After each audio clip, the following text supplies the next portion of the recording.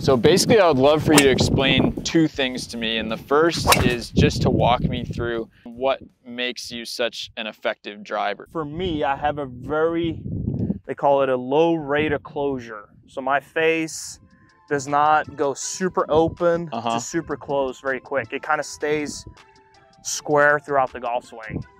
And that's, you know, because of my bowed left wrist and I have a very shut club face. Yeah, so go to the top of your swing. What does that look like? Yeah, so top of my swing, you know, obviously it's going to look a little different compared to yeah when you're doing action, it in real in time. Moment. Yeah, but so my left wrist will be a little flexed like right this, like yep. here. Club face is pointing kind of straight up in the air. Right. And another thing is my arms aren't very deep. Mm. I kind of have a very high, I have high arms in the backswing. Right. Before in college, it was even higher. And then the first move would be out.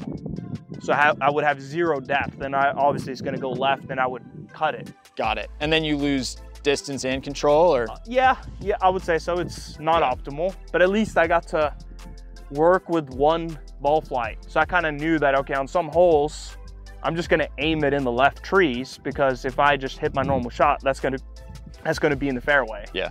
So I think playing like that, it kind of makes it a little bit easier for you, but it was a little too much. Yeah. All right, um, so you have a um, low rate of closure though, so that's helping your face kind of stay yep. stable. Yeah. All right, what else makes you so good? Uh, I would say, you know, I with a driver, I don't have a lot of lateral movement either. Mm uh, which you know a lot a lot of the great players have lateral movement, which it's not necessarily a bad thing, but too much, and if you don't get the proper tilts, you're gonna hit down on the ball. So the best players like Greg Norman, Jack Nicklaus, you know, Tiger, they had a lot of lateral movement, but they also pulled up really hard. And I have a lot of that as well, where, you know, if you watch my left arm and my left shoulder, it will pull up and that's how you get kind of the club up out of the ground and you hit up on the ball. So what's the alternative for you of lateral movement? Well, it's, you know, I'm still moving forward, mm -hmm. but I can't move too, too far forward because my arms, as I said, I don't have a lot of depth. Yep. So I kind of pivot more around my right foot. Okay. Which is still fine because I get a lot of side bend. You see my left shoulder kind of going really up in the air and that's that's kind of how I make it work and I keep the face very square. Got it. And when I hit up on the ball, that's going to move the path a little bit more left. So that's why, you know, I hit hit that nice little cut and for me it's one dimensional but I know where the, where the ball's going to go. What is your swing thought right now on driver? Like some of this is obviously happening naturally now and it's just muscle memory. What are you thinking about right now. Yeah, so speaking of, the, of that, you know, pulling up part, that is kind of something that I, I need to work on a little bit right now because I've been um, in the short game, been focusing a lot on moving forward and, and the wedges to get that angle of attack down. Whereas with a driver, I want to kind of stay back a little bit and still get my body forward, but kind of, you know, pivot a little bit more on the on the right foot and kind of get get that left shoulder up in the air. So that's kind of all that I'm trying to think of right now. Feel like I'm not getting too far forward in transition. Kind of staying back and letting the, the hips extend. That was money. That's the one right there. Yeah. How far is that gonna fly? Uh, Ignoring I mean, the fact that we're into the wind. Yeah, normally that's gonna fly about 300, I would say. Yeah. And it's got some chase to it too. Yeah, that one's pretty optimal as well. Um, so yeah, if I wanted to hit a little higher, higher, it would probably give me another five yards.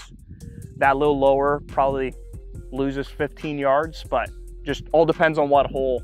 Uh, Will you mess with your driver settings based on the venue or say, you know, when we're going to the open or anything like that? No, no. not really. Um, I think that for the most part just gives you more problems. Going back to the, the discussion there, it's like you could potentially make the driver more optimal for that week but if the ball is doing some weird stuff, one out of 10 balls, that can give you some scar tissue as well. So it's like, yes, this driver might not be optimal if it's super wet and rainy out there, but at least I know kind of what it's gonna do. Right. So.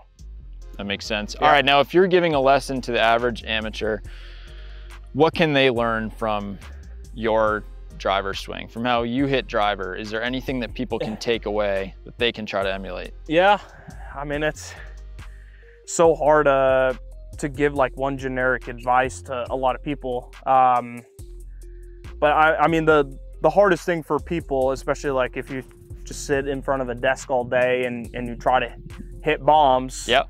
It's, you know, because most guys just kind of come over the top.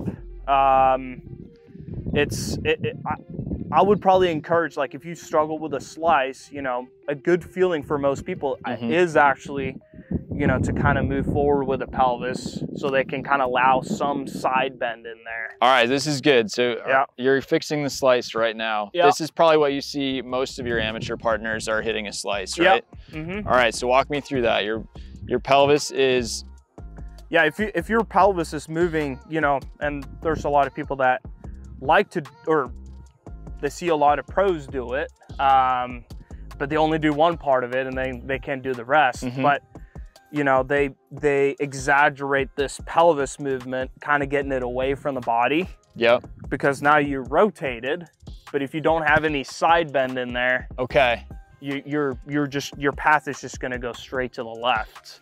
So what getting the so pelvis? the side bend helps you hit it to the right. Yes. So if I were to stand here, or helps you start it to the right, I should say. Well, it gets it even it. yeah it yeah. evens out the path a little bit. If I just sit here and I do this, you know, this this is going to come from the inside and, and kind of out to the right. But if the pelvis is moving this way, you know, it's it's kind of hard to side bend enough, and that's why most people can't can't really hit draws. Interesting. Um, yeah. You know, you got to be somewhat flexible to, to twist and, and turn like, you know, someone like Joaquin Niemann, for example. And I have a lot of side bend like that. I think Sam Bennett was another guy. I sure, yeah. Looked at his impact. You know, he's he's very much like that. And it's just it's just hard for hard for most people to make that work. Do you study a lot of other players' swings, and are there guys that you kind of borrow from, or you're curious about how it works the way they do it? Uh, not intentionally, but if it pops up, I'll like, oh, that's cool. That's, you know, I wonder why he does that. Yeah. And then try to figure it out. But it's not some like, okay, now we're going to go down the list of people and try to understand it because it doesn't, doesn't pertain to me that much. Right. It's just kind of interesting to, to, to see. What was your swing originally modeled after? Do you know? Just watching guys around you or, or watching guys on TV or it, it Not, just kind of happened? Yeah, I mean, I guess like I've always been a fan of DJ swing. So I have a lot of similar things to yeah, to both DJ. left wrists and the, yeah, yeah, a lot of you know he hits cuts, gets a lot of pull up. Yeah, uh, very rotary.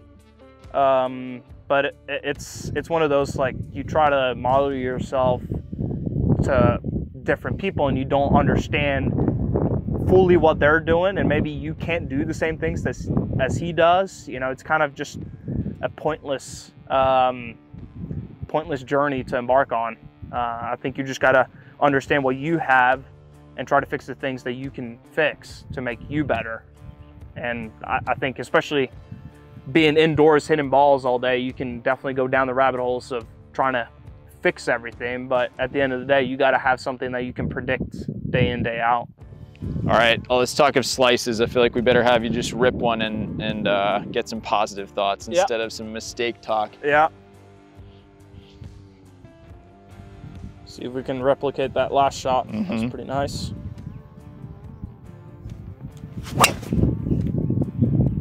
Yeah, that's that little lower one, but that's awesome.